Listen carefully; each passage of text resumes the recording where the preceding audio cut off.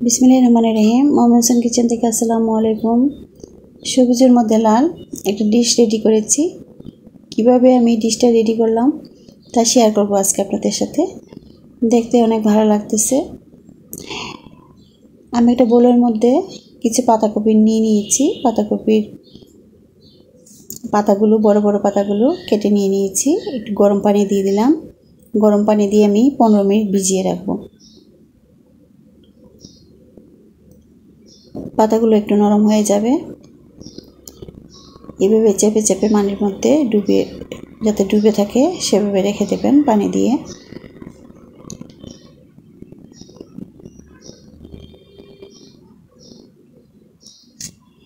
আমি পুর তৈরি করব এখন।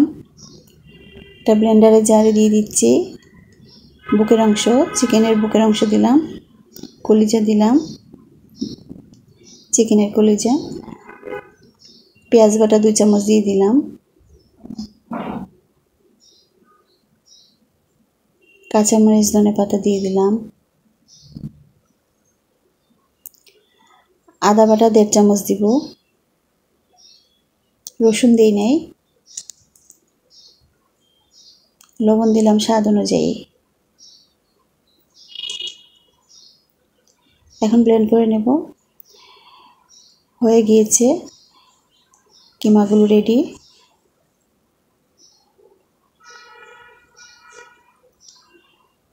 আমি এখন এই কিমা, চিকেনের কিমাগুলোকে বেছে নেব। আমি একটা প্যানের মধ্যে তেল এবং জিরা দিয়ে দিয়েছি।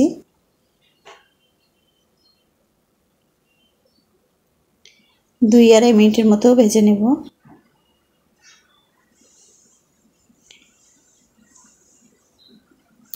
ভাজা হওয়ার পর আমি একটু একটা বাটিতে নিয়ে নিয়েছি।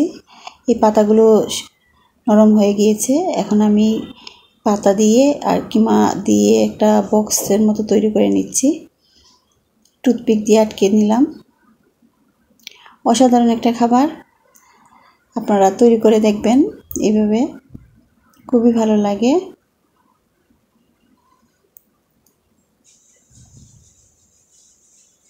দেখতেও ভালো লাগে, খেতেও অনেক ভালো হয়েছে। আমি এখন ভেজে নিচ্ছি। কীভাবে ভাজলাম দেখাচ্ছি। আমি একটা ডিম এবং কর্নফ্লাওয়ার নিয়ে নিয়েছি। একটু বান্ডিংয়ের জন্য।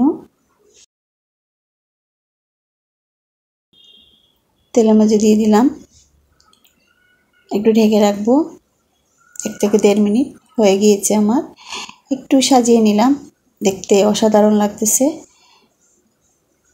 লাল এবং সবুজের কম্বিনেশন বেশ ভালোই লাগতেছে। আল্লাহ হাফেজ।